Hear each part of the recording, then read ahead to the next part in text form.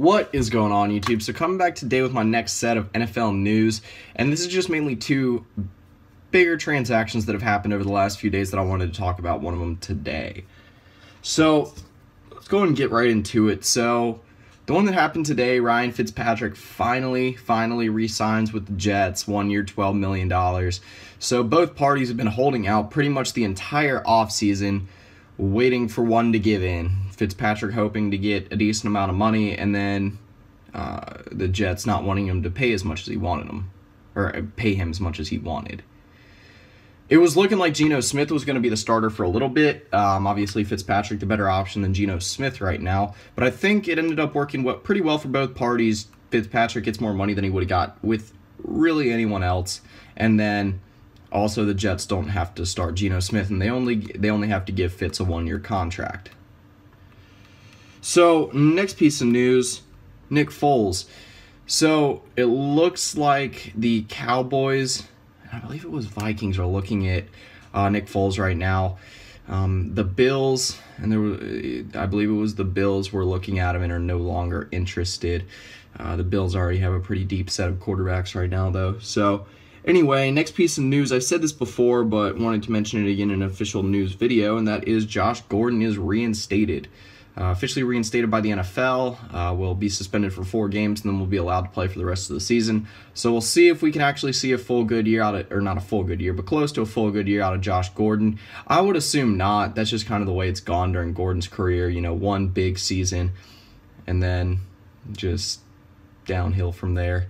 So, final piece of news Anquan Boldin signs a one-year deal with the Detroit Lions. I really like this deal. I really, really like this deal for both parties.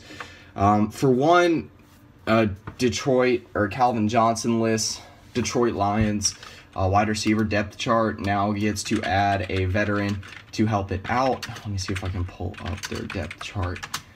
Um, I have not seen the contract details. I could not seem to find him. If you know uh, what the contract was, let me, or if you know how much the exactly how much the contract was for, let me know.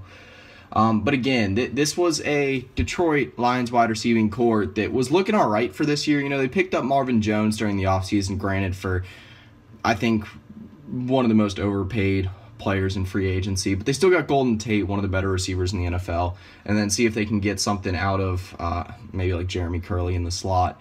But now that they did get Anquan Boldin, they can, he can help mentor a young wide receiving corps. Um, two guys that I think you could watch out for in the Lions wide receiver or wide receiving corps. Two rookies, Quinshad Davis and then Jay Lee. Uh, Jay Lee out of Baylor. I I don't know if he'll fit in well in the NFL, but we'll see. There was a large crop of Baylor wide receivers in the draft this year. Alright, so that'll pretty much do it for this video. Like I said, wanted to mainly talk about Anquan Boldin and Ryan Fitzpatrick being acquired.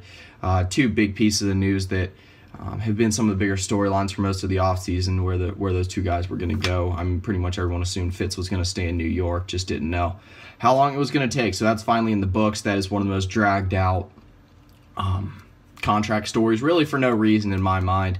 Uh, way too much here, way too much about something that should have been done a while ago. Um, I think that should have been the contract that was done in the first place. But anyway, that's pretty much it. See ya.